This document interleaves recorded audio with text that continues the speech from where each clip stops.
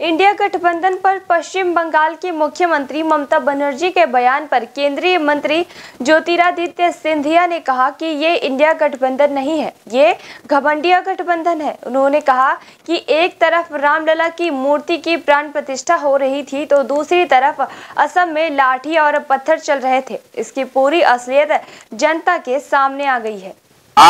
Dot N dot D dot I, dot A, dot.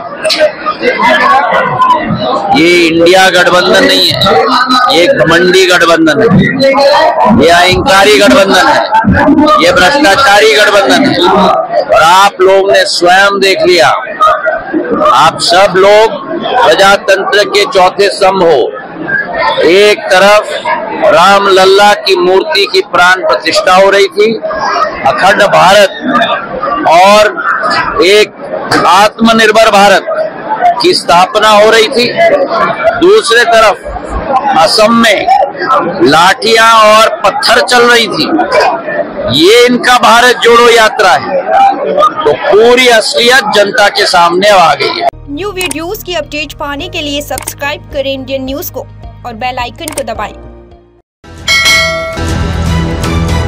है इंदू broadcasting private limited और आप देख रहे हैं इंडियन न्यूज़। हर पल, हर क्षण, हर सच।